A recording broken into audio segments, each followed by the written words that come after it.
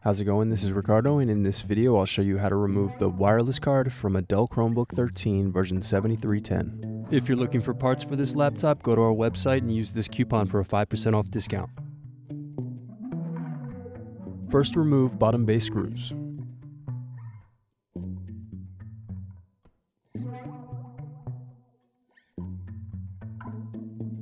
Then use fingers to separate and remove bottom base. Now disconnect battery.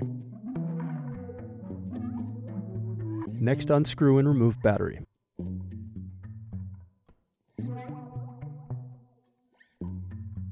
Now unscrew and remove wireless bracket. Then disconnect antenna cables and remove wireless card. Need more? Check out these other tutorials. For batteries, click here. For hard drives, click here. For wireless cards, click here. Thanks for watching. If you enjoyed this tutorial, give this video a like and subscribe to our YouTube channel. Check the video description below for links to written tutorials and replacement parts.